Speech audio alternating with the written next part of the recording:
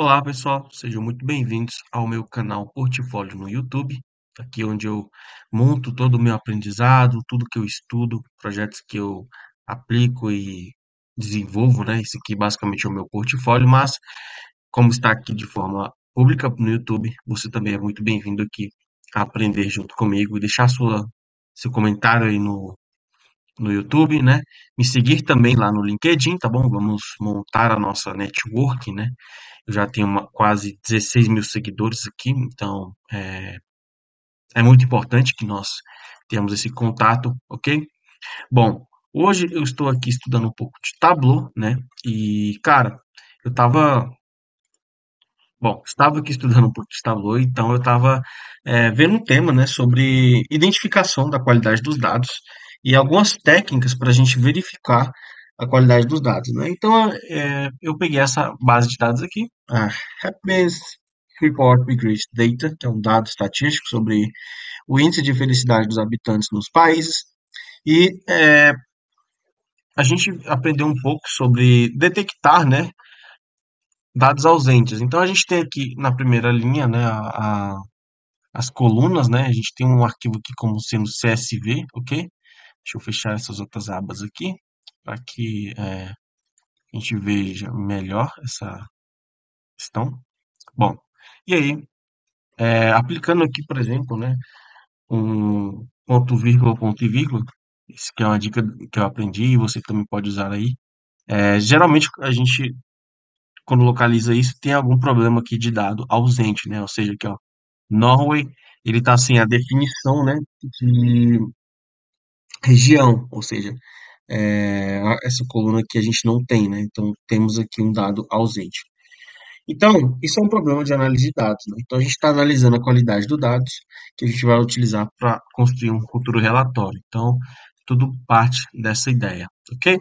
Bom, já estou aqui com o meu Tableau Public aberto, né? então vamos usar a versão pública, é, totalmente gratuito, qualquer um pode entrar aí no Tableau Public e baixar esta versão, tá bom? A versão é, normal, né, desktop ali, ela é um pouco mais abrangente em relação à quantidade de servidores, né? Você pode se conectar com diversos, mas aqui em relação a um arquivo, a gente tem aqui uma liberdade muito grande. Então eu vou conectar aqui ao Happiness Report Migrated Data e ele vai mostrar aqui para gente, né, o nome das colunas, né, o tipo, o nome do campo, a tabela que, que ele fala que é a tabela física, né, onde, de onde está vindo esses dados, e o nome do campo, né?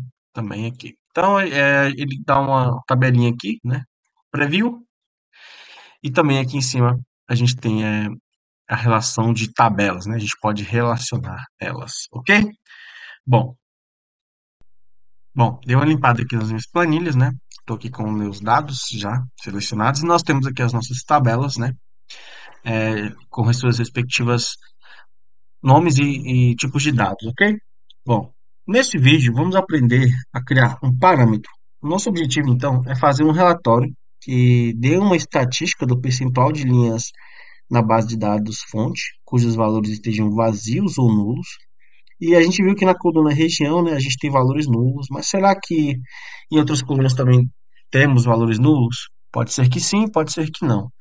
É, a coluna que eu quero analisar, eu vou passar para o relatório como parâmetro, então vamos aprender a criar isso no Tableau. Né? Então, um parâmetro basicamente é uma variável que será usada como parâmetro para o relatório. Então, a gente já carregou nosso arquivo CSV, vamos para a nossa planilha e vamos criar uma lista usando é, algumas coluninhas, né, aqui, basicamente. Eu vou utilizar o backup, né, o region, aqui, na verdade, country region, tá bom?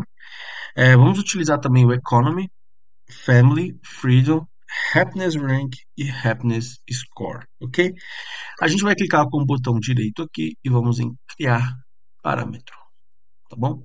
É, bom, aqui né, a gente vai dar o nome ao parâmetro, ok? Bom, pensei em um parâmetro aqui, o nome, vamos colocar nome do parâmetro, né? Depois a gente tem é, tipos de dados, certo? Eu vou colocar como inteiro, porque a gente vai dar números aos parâmetros, ok?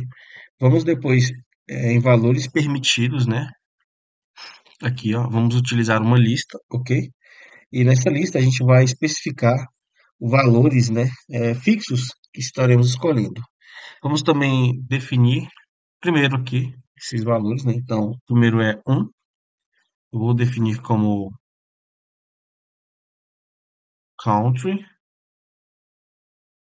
O 2 a gente vai definir como. Opa! Vou definir o 2 como region. O 3 vamos definir como economy. 4 vamos definir como family. 5 vamos definir como freedom. Freedom. O sexto vamos definir como happiness, uh, happiness rank, né? No caso aqui, rank. Seven aqui, sete, vamos definir como happiness score, ok?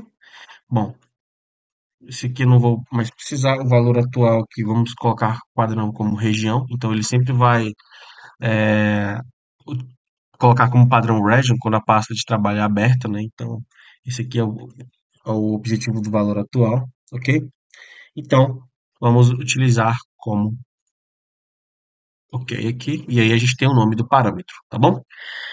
Bom, e aqui, quando a gente clica no botão direito novamente e clica em mostrar parâmetro, ele vai mostrar para a gente aqui o nosso parâmetro criado. Ou seja, eu tenho country, region, economy, family, freedom, ok? Happiness rank and happiness score. Ainda não apareceu nada aqui, porque eu não utilizei nada das minhas colunas e nem linhas, né? Então, é, fica aí essa, essa possibilidade no próximo vídeo. Mas eu também posso voltar aqui a qualquer momento e editar né, isso de alguma forma, né? Posso até colocar como formato de exibição, né? Se eu quero exibir um parâmetro como número, moeda, porcentagem, científico, posso personalizar também o valor. Então, foi esse o vídeo aí para vocês, tá bom? É, de criação de um parâmetro aqui no Tableau. Deixe seu like, comenta, compartilha e até o próximo vídeo.